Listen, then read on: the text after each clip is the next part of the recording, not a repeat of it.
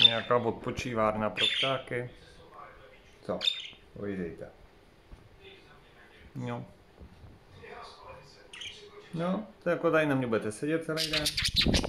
Ne, ty budeš sedět na mobilu. To je tohle.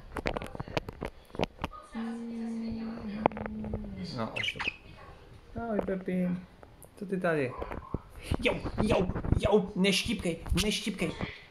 Nech toho. Co se vstekáš zase? Jste chtěli vidět Pepinu. Říkali jste, že nesedí, že určitě mi chcípla, tak koukejte, nechcípla. Přestala sedět na vajíčkách, ale je živá. A Pepíček je živý ještě furt, viď? Ale dlouho nebude, protože mu utrhnu hlavou. Steká se to, klove to, je to agresivní. No. Tak, vidíte, Pepinka žije. A já jsem teprve vstal, koukejte, Že jsem chtěl pinkat.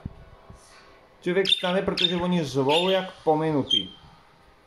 Dneska musíme na počtu. No, máme tam balíčky z AliExpressu.